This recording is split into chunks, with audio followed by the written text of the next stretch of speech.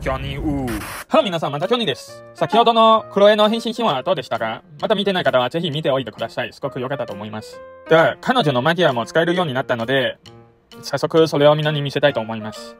で、おさらいになりますが、彼女のマギアは敵単体にランダム特性強化ダメージを4回与えるんですね。これはボス的な敵に対してすごくものすごい強力な攻撃になりますね。まあでも、それを実際見ないと何とも言えないんですけど、まあ早速これを見たいと思いますね。では、クロエのマギアまで、3、2、1、ご覧ください。これで。いいかな？これで。私だって何かになれるはず。まだまだ。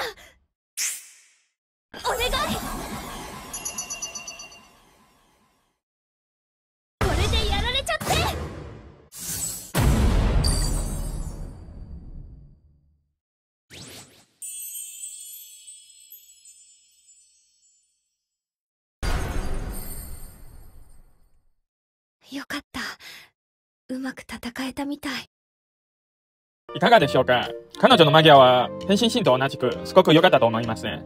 どうでしょうか？よかったら彼女のマギアの感想とかあればぜひコメントに書いてください。それでは彼女のクロエのトペルの動画までまたお会いしましょう。